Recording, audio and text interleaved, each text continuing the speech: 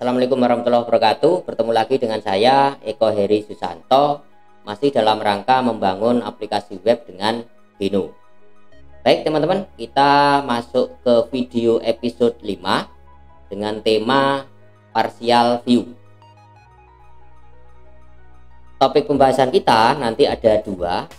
Yang pertama nanti kita akan bahas bagaimana strategi untuk memecah template HTML kemudian topik yang kedua nanti kita akan satukan kembali bagian-bagian HTML yang kita pecah tadi ya atau istilahnya adalah partial view menjadi e, tampilan HTML yang utuh. Nanti kita akan banyak e, bersinggungan dengan perintah include gitu ya. Oke kita lanjut ya. Nah ini saya tunjukkan struktur dari template kita kemarin ya. Template kita kemarin yang di ini di file home EJS ini kan strukturnya seperti ini gitu. Nah dari struktur ini bisa kita lihat di sini. Contoh yang bagian ini bagian header ya bagian header sama bagian kategori yang atas ini itu eh, berasal dari ini scriptnya. Dari block header ini sama nav coroller ini ya. Kemudian ini ini jumbotron ini berarti yang ini. Kemudian yang ini yang sini ya ini kan berasal dari ini row mb2 ini. Itu kemudian di bawahnya ini yang ini from the firehouse sampai ke bawah ini ya eh, atau isinya dari blok kita itu kan berada di sini di role main ini kelas kontainer itu di role main kelas kontainer ini ada dua bagian ya. Yang sebelah kiri ini yang sebelah kanan ini sidebar ini itu terus yang paling bawah ini ada footer menghasilkan ini footer di bawah ini ya. Agak kurang jelas di sini ya.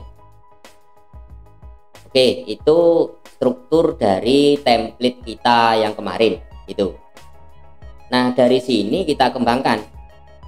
Saya ambil contoh begini. Kita menyediakan katakanlah dua dua halaman gitu ya. Ini halaman home, yang ini halaman e, sign up kemarin. Gitu. Dan pastinya nanti halamannya akan akan nambah lagi gitu ya, tidak hanya dua. Nah, dari contoh dua halaman ini kalau kita amati kan sebenarnya ada bagian yang sama. Ada bagian yang sama dan tentu saja ada bagian yang tidak sama gitu. Yang sama mana? Nah ini. Yang apa tadi? Yang header sama kategori ini kan ini di sign up juga harusnya ada ya. Header sama kategori sama gitu kan. Kemudian sidebar di sini harusnya kan di sign up juga harus ada sidebar. Berarti ini dan ini sama kemudian footer yang di sini di sidebar ah sorry di sign up kan juga harus ada footer juga gitu. Nah dari sini bisa kita lihat ada bagian-bagian yang sama dan ada bagian yang tidak sama gitu. Nah dari bagian yang sama nanti kita kita kumpulkan gitu ya. Kita kumpulkan menjadi eh, template induk gitu ya atau template dasarnya yang tidak sama baru kita pecah menjadi eh, file-file uh, kecil gitu atau file template kecil. Nah itu misi kita di di pembelajaran video kali ini gitu ya teman-teman ya. Oke kita langsung ke coding saja biar uh, lebih jelas gambarannya ya. Nah ini coding kita kemarin. Nanti kita akan lebih banyak fokus di sini di blok TS sama di uh, home ECS ini. Gitu. Nah tadi misi kita adalah bagaimana caranya kita menyederhanakan ini template home ECS ini. Gitu atau kita pecah-pecah gitu ya. Nah supaya lebih gampang ini eh, bagian-bagian eh, yang ini satu blok ini bisa kita minimize ya. Contohnya yang head ini kan harusnya begini. Nah ini eh, saya minimize gini. Nggak dihapus sih tapi di minimize. Biar lebih enak nanti kita ngopinya gitu ya. Terus ini jumbotron kita minimize juga. Row MB kita minimize. Mana lagi? Ini blog post. Oh sudah saya minimize ini. Bisa kan ya minimize kan tinggal yang panah ini aja di di klik gitu. Sampai jadi gini ya ini yang sidebar kan? Sebelah sini terus ini yang puter. Nah seperti ini ya. Nah kalau sudah eh, sederhana gitu ya tidak muncul semuanya ini kita tinggal enak nanti motong-motongnya. Contoh misalkan yang bagian ini. Eh, yang mau saya potong duluan misalkan yang tidak sama tadi yang ini ya yang jumbotron sama yang row MB2 ini kan ya? Ini saya pisahkan ke file lain. Berarti saya bikin file di view sini ya. Di view sini saya bikin file terus saya kasih nama apa? Jumbotron gitu ya. Dot ejs ini kan? Oke. Terus balik ke home ya yang ini yang jumbotron ini sama row mp sampai div e, penutupnya ini ya. Kelas row mp ini kita cut aja ini. Kita cut ini ya. Terus ini jangan lupa ini biar nanti nggak lupa ini kita tandai. Kita kasih komen gitu aja ya. Ini lokasi jumbotron gitu ya Oke, terus ini tinggal paste di Jumbotron EJS. Berarti yang tadi kita paste di sini ya. Nah, ini aja. Nggak ada perubahan kan? Oke, ini kita simpan dulu ya. Oke, yang Jumbotron selesai. Balik ke home lagi ya. Balik ke home, kemudian kita cari yang eh, bagian ini. Bagian apa? Blok mainnya ya. Berarti ini yang bisa kita pindah yang nanti berpotensi untuk berbeda kan mulai dari sini kan ya? Mulai dari sini ya. Yang blok push ini sampai pagination ini kan ya? Sampai sini. Nah ini yang apa ini? Yang div ini kan punyanya ini punyanya main ini jangan di cut ya. Ya kan? Sampai sini kan ya?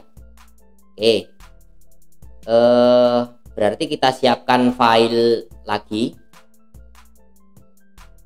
Kita kasih nama apa ini? Eh main gitu ya. Main dot ejs ini aja kan Oke. Kita punya filenya. Terus yang ini tadi kita cut. Itu jangan lupa ini dikasih tanda lagi. Ini lokasinya eh, block main gitu kan? Oke. Terus ini kita pindah ke sini hasil yang eh, pemotongan tadi. Kita paste di sini ya sudah.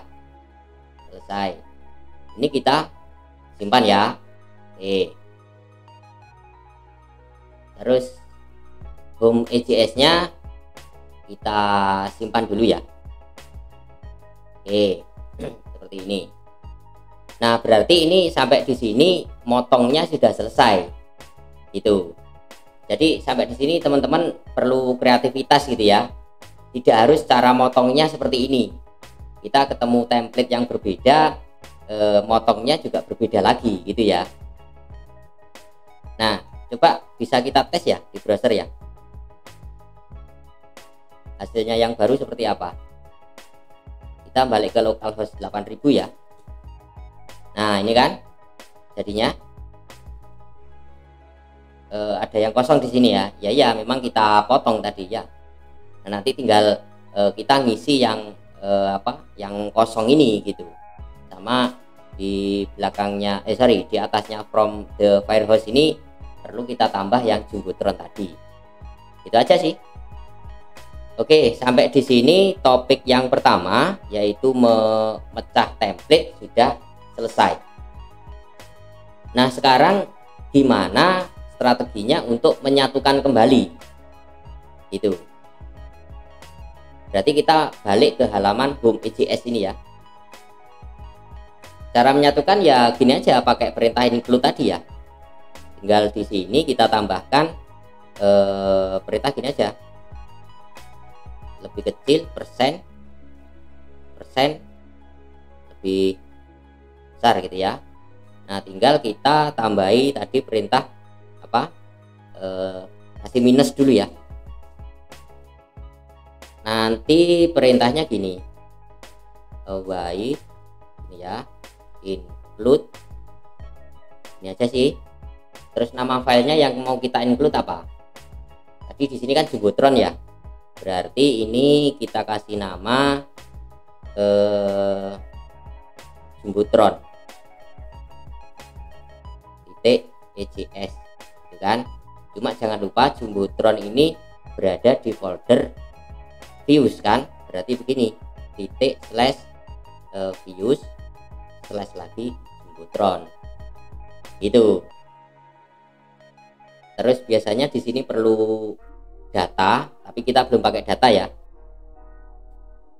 Makanya di sini kita definisikan eh, datanya kosong gitu aja. Biasanya kalau nggak didefinisikan gini eh, ini apa denonya akan menunjukkan error gitu ya oke sementara ini dulu. Coba saya simpan ya. Ini dulu terus kita cek di browser. Jumbotronnya masuk enggak? Enter ya. Nah ini sudah balik. Putronnya sudah balik. Oke. Terus untuk yang blockman yang ini bawahnya sini gimana? Ya sama aja perintahnya. Sama aja. Tinggal uh, ini di sini ya berarti ya. Yang kita tandai tadi di sini kan ya. Ya tinggal gini aja. Kecil persen persen lebih besar. Terus ini kita kasih tadi perintahnya void uh, include ya. Include. Terus filenya tadi berada di folder views. Nama filenya adalah blog main main gitu kan .ejs terus datanya ini kita apa kita kosongin dulu ya. Nah seperti ini. Coba kita simpan dulu. Terus kita tes di browser. Nah sudah balik. Gitu. Gitu ya. Oke sampai di sini teman-teman e, bisa memahami kan ya Nah, berarti nanti kalau kita mau membuat halaman apa sign up, berarti caranya kurang lebih seperti ini, gitu. Nah, halaman home EJS ini ini akhirnya menjadi uh, template induk gitu ya, atau template apa dasar gitu. Yang ini bisa kita kita ganti nanti gitu ya. Eh, sorry, bisa kita sambung-sambungkan dengan template yang lain. Nah, ini ada ada ini ada apa? Ada permasalahan. Ya kalau apa namanya yang kita tampilkan itu yang ini yang home jadinya seperti ini. Bagaimana kalau kita, misalkan kita mau ke yang ini yang sign up? Berarti kan ke sini kan ya? Di sini tambah slash daftar ini atau lewat link ini kan kemarin? Ini loh. Nah. Nah ini. Ini gimana biar di apa di halaman sign up ini atau di link daftar ini e, tampilannya seperti yang tadi seperti yang home.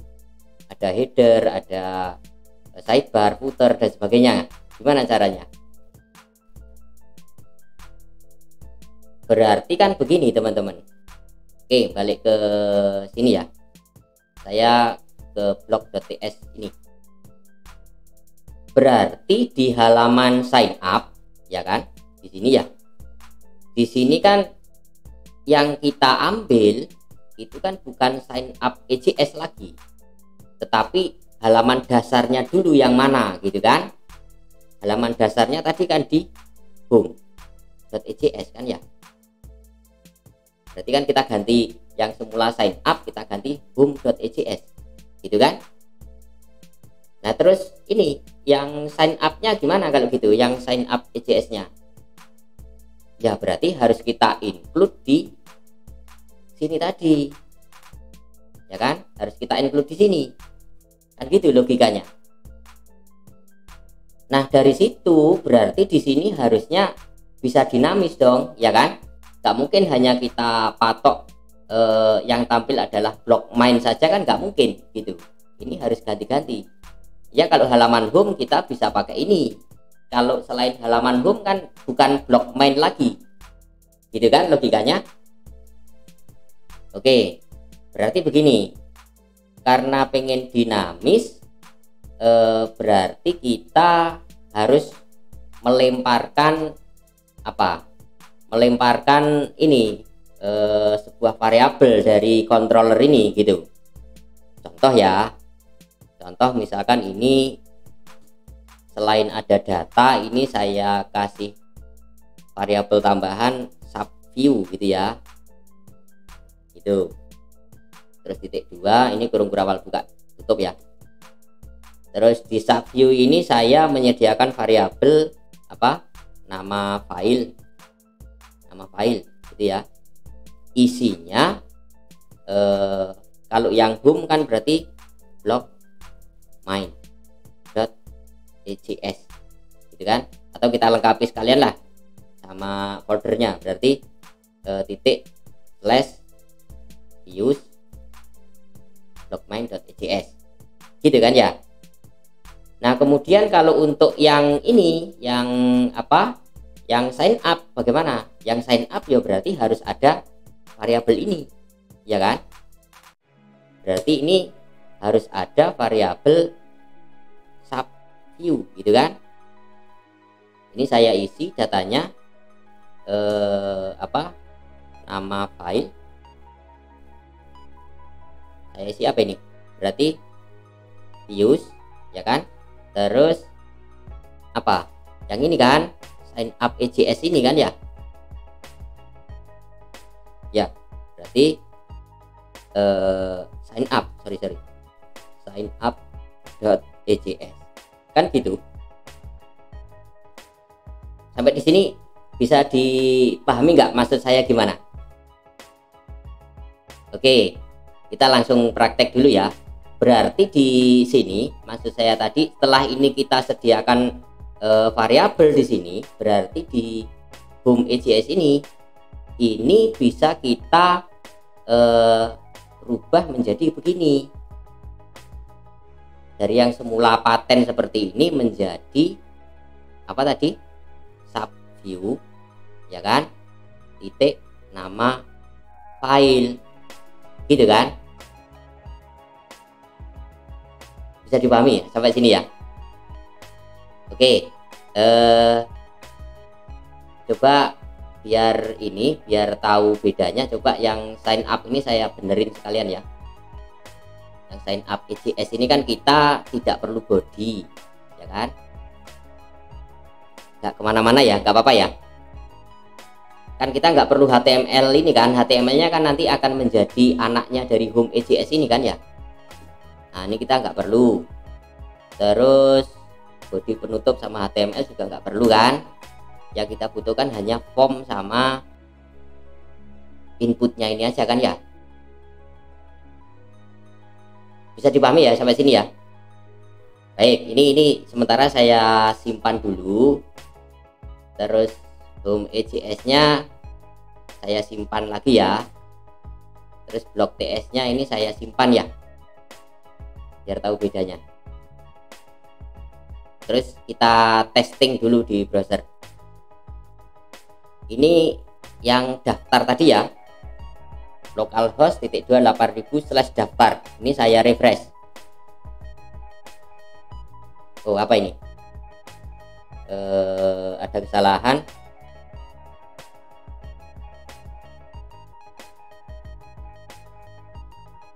Data is not defined data is not defined.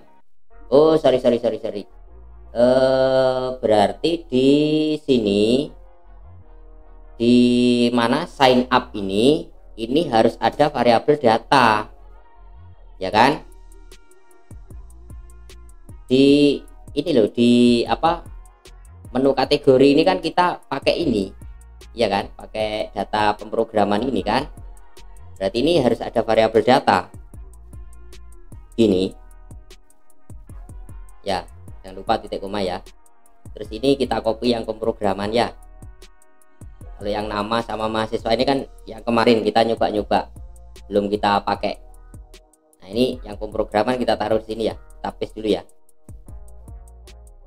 Itu terus saya simpan ya.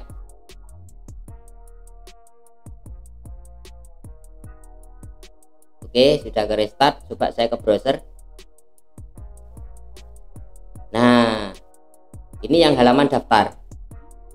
Coba ke bawah. Nah ini kan apa namanya? Yang form sign up-nya kan muncul di sini kan ya? Tidak berisi apa tadi? Tidak berisi yang blog post tadi. Kalau saya balik ke halaman depan berarti ini saya hapus. Balik ke home berarti kan jadinya begini ya kan? Tahu bedanya ya bedanya ya kalau ke home begini kalau ke sign up misalkan ini saya buka di tab baru ya. Nah di daftar nah jadinya kan begini. Ya kan? Beda ya. Satunya begini di halaman home satunya begini di halaman eh, sign up atau daftar gitu kan? Nah skripnya tadi ya seperti ini gitu. Yang apa? Home kita tinggal white include nama filenya ini. Nah nama filenya ini kita definisikan di sini. Di sini tadi. Kalau yang apa? Kalau yang halaman home berarti nama filenya kan menuju ke blog main eh blog main.ejs ini kan?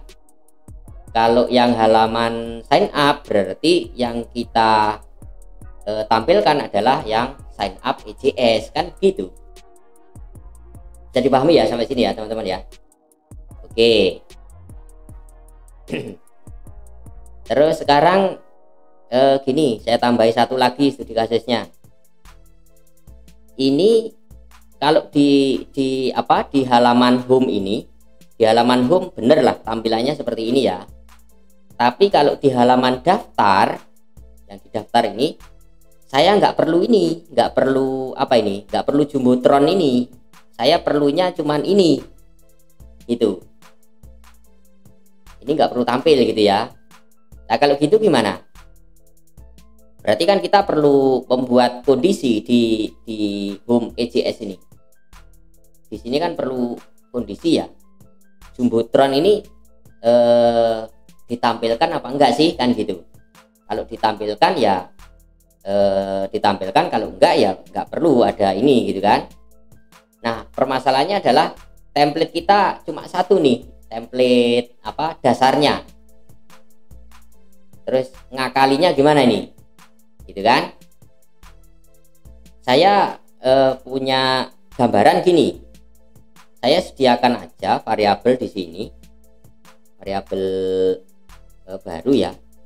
Katakanlah saya kasih nama eh, show jumbotron ini ini kalau yang di halaman apa nih halaman home berarti show jumbotron saya set true misalkan ya. Nah, kebalikannya kalau yang di mana? Yang di sini di halaman sign up, saya kan nggak perlu menampilkan jumbotron ya. Berarti so jumbotron eh, saya set false gitu. Itu ya. Terus setelah ini ada apa? Ada konfigurasi so jumbotron ini di halaman home di sini ya di halaman home tinggal saya ini tambahi tambahi kondisi. Berarti gini ya eh, lebih kecil persen-persen lebih besar. Tinggal ini saya tambah kondisi gini if apa ini berarti? Eh, subview tadi kan?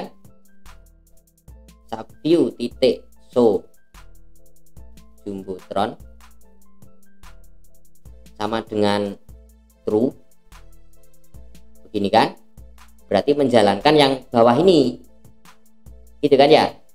Kalau false berarti ya include-nya jumbotron nggak usah. Gitu kan ya logikanya. Coba ya saya simpan dulu ya. Ini saya simpan terus yang blok TS saya simpan. Oke ya sampai sini. Sudah ke restart coba ke ini ke browser kita coba dulu yang daftar ya. Coba saya refresh. Duh, kok tetap tampil? Yang ini? Tetap tampil. Kenapa ini? Ada error enggak coba kita cek di apa? Home ECS nggak ada error ya? Jadi juga nggak ada error. Atau jangan-jangan ini kurang ini aja? Kurang kurung berawal buka. Ini untuk menandai awalnya if. Berarti kalau di situ ada kurung berawal buka di sini harus ada kurung berawal tutup. Ini. Coba aja ya. Oke kita simpan dulu. Sudah terus eh, di browser yang home kita refresh. Gak ada perubahan. Yang ini sign up kita refresh. Nah berubah kan? Ya jumbotronnya nggak tampil ya? Ya gitu aja sih. Ya kan? Logikanya simple ya. Maaf tadi kurang kurung kurung kurawal buka tutup aja ya. Jadi eh, kita tinggal nambah satu variabel di sini. Kita apa setting jumbotronnya eh, tampil apa enggak gitu. Kalau tampil ya kita setting true kalau enggak tampil ya kita setting false. Itu aja kan? Oke.